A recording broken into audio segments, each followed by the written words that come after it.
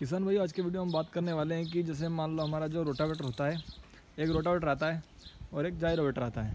मतलब दो मॉडल आते हैं। तो बहुत सारे किसान भाई ये पूछते भी हैं और उनके मन में समझ भी होगी कि रोटावेटर ज़्यादा गहरी जुताई करता है या जायरोवेटर ज़्यादा गहरी जुताई करता है। पहले आपको डिफरेंस बता दूँ मैं।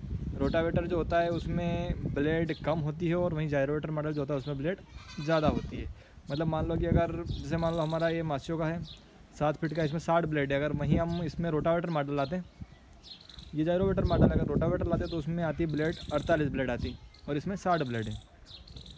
तो बहुत सारे लोगों के मन में ये सवाल है कि जो रोटावेटर है, वो ज़्यादा गहरी जुताई करता है और जायरोवेटर जो है, गहरी जुताई नहीं कर पाता है। तो आज के वीडियो में उसी के बारे में बात करने वाले हैं।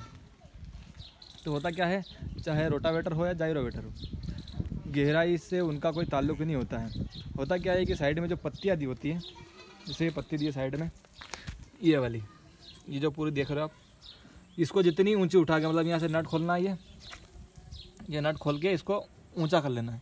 इसको जितनी ऊँची उठाओगे, उतनी ही ज़्यादा गहराई तक जाएगा, रोटावेटर हो या जायरोवेटर हो, दोनों गहरी जुताई कर सकते हैं। मैंने दोनों चला के देखे कोई डिफरेंस होता है मेन पत्ती डिफरेंस होता है इन पत्तियों का। जितनी नीचे रहेगी, उतनी गहरी मतलब जुताई कम करेंगे और जितनी ऊपर चढ़ाओगे, उतनी ज़्यादा गहरी जुताई करेंगे। ठीक है तो ये मान लो एक तरह से स्टैंड है, यहाँ तक आ ये पत्ती पे आकर रोटावेटर टिक जाता है, इससे ज़्यादा गहराई में नहीं जाता है। जैसे ही आप उसको ऊपर चढ़ाओगे तो होगा क्या कि वो ऊपर चढ़ेगा तो उसमें जो ब्लेड है ज़्यादा नीचे तक जाएगी ज़मीन में और स्टैंड अपना जो है ऊँचा हो जाएगा।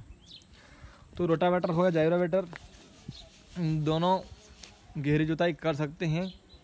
खाली आपको करना क्या है, साइड में जो पत्ती दी होती है, जो मैंने अभी बताया, ये वाली, इन दोनों को ऊँची उठा लेना है, दोनों साइड से बराबर बराबर।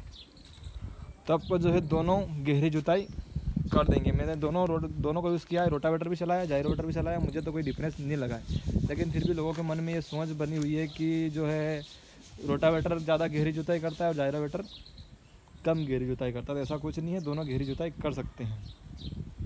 दूसरी बात आपको बता दूँ कि जायरोवेटर मॉडल जो होता है, वो जायरोवेटर क्या होता है कि ज़्यादा अच्छे से चलता है मतलब ज़्यादा वाइब्रेशन नहीं करता और ज़्यादा झटके भी नहीं मारता, क्योंकि उसमें ब्लेड एक एक लाइन से लगे होते हैं, कतार से।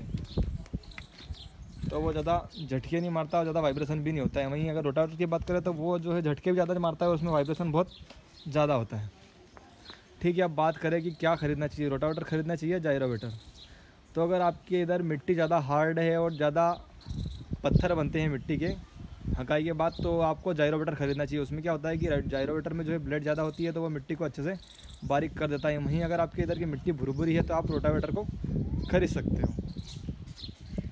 ओके दोस्तों, आज के वीडियो में इतना ही। जय जवान, जय किसान। वीडियो अच्छी लगी तो वीडियो को लाइक कीजिए, चैनल को सब्सक्राइब कीजिए, साथ ही साथ वीडियो को शेयर भी कीजिए। ओके दोस्तों।